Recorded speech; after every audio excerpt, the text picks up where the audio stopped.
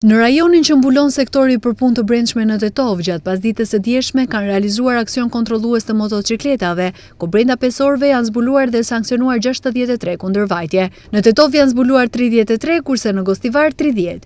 Pjesa dërmuese e këtyre kundërvajtjeve kanë të bëjnë me mosmbajtjen e helmetës mbrojtëse, kurse 12 persona kanë drejtuar motocikleta pa leje adekuate. Të gjithë shkelësve u janë përgatitur dënime, njofton Policia e Tetovës. Gjatë kontrollit po ashtu janë konstatuar edhe nëntëmbëdhjetë lloje të ndryshme të kundravajtjeve në komunikacion.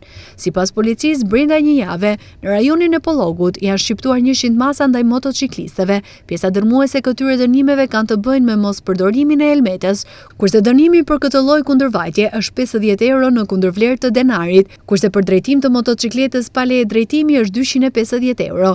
Nga policia e Tetovës apelojnë deri tek motociklistët që në mënyrë obligative të shfrytëzojnë pajisjet mbrojtëse, të mos drejtojnë motocikleta pa leje adekuate dhe në kohë të regjistrojnë të njëjtat. Nga policia e Tetovës thonë se në periudhën që vjen do të ketë edhe kontrolle më të shpeshta ndaj tyre, me qëllim që në kohë të zbulohen dhe sanksionohen ata persona që rrezikojnë jetën e tyre dhe të pjesëmarrësve të tjerë në komunikacion.